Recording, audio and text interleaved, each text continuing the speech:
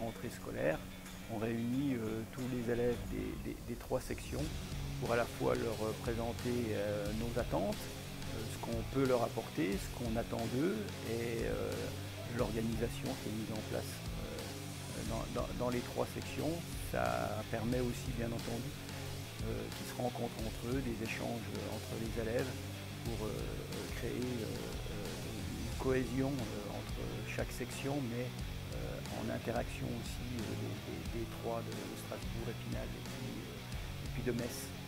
Donc c'est une journée qui est basée bien sûr sur la bienveillance, sur la découverte, sur la connaissance. C'était bien, aujourd'hui ça nous a permis de rencontrer les nouveaux de la section, leur expliquer un peu bah, comment ça se passe, tout ça.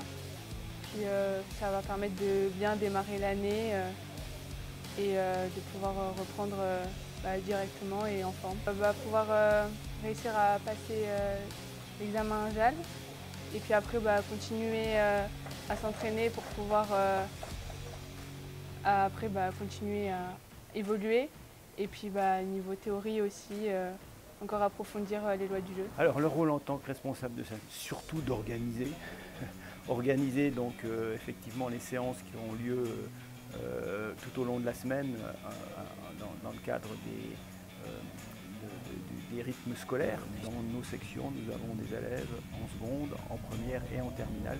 Donc à chaque fois, chaque cours va être aussi divisé en, deux parties pour bien être adapté au niveau de chaque arbitre.